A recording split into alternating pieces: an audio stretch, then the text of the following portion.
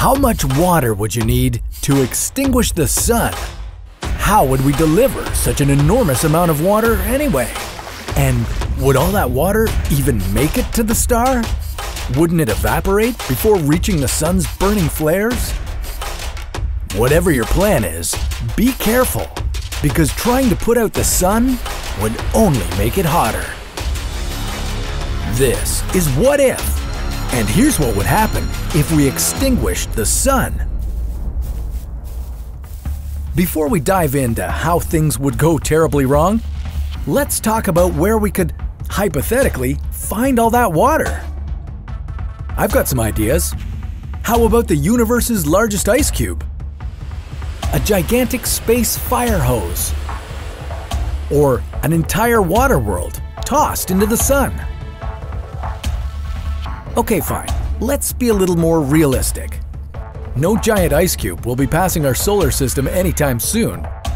That leaves us with one possible scenario. We'd have to sacrifice every single drop of water we have here on Earth. We would drain our oceans and deplete all the fresh water too. Then we'd build a very large fire hose and blast it at light speed towards the sun's core. And then Wait, did I say there was just one option? I forgot about the possibility of using a water world. Leaving the Earth with no sun and no water seems a bit unreasonable. And we could avoid that ocean draining scenario if we found a way to throw an exoplanet into the sun. But not just any exoplanet. We'd be aiming for a real life water world. And we just happen to know where to find it. Some 40 light years from Earth, there's a planet primarily made of water with an atmosphere of steam. Scientists named it GJ1214b, but we'll call it the water world. This planet is 2.7 times bigger than the Earth in diameter, and it weighs seven times more than our planet. And it has much less rock and a lot more water than the Earth does there would probably be enough water on the water world to put out the sun forever. But it wouldn't happen the way you might expect it to.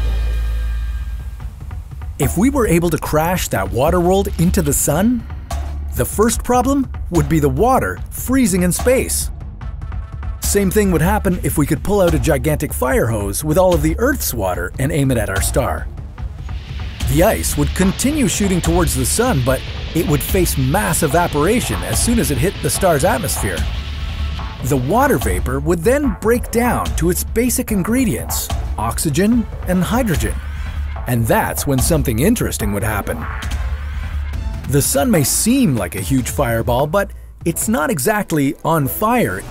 Inside its blazing core, the pressure is 340 billion times more than it is on Earth's surface. This immense pressure fuses hydrogen atoms together, making helium and giving off energy in the process. Since hydrogen acts like a fuel for our sun, pouring water on it would be like throwing gasoline on a fire. You'd see the sun turn bluish white as it grew six times bigger. It would create an extreme heat wave across our planet, but at least we wouldn't be engulfed by the expanding sun, although there could be other consequences. We wouldn't be able to put out the sun with its own fuel, but if we fired enough water at it at the speed of light, it could break up the sun. The pressure inside it would drop, the hydrogen couldn't fuse together into helium, and that would shut the sun down. But with no sun to give us warmth and light, the Earth would turn into a frozen world. After just one year, Earth's temperature would drop below minus 73 degrees, most of the plants and animals would be dead long before that. And what about us humans? Well, in the deepest parts of the oceans, geothermal vents could have kept us warm and supplied us with energy. But we just poured all of Earth's water into the sun, dooming ourselves to freeze. Lucky for us, the only thing in the universe that can do any substantial harm to the sun is the sun itself. And that would take billions of years to happen. But that's a story for another What If.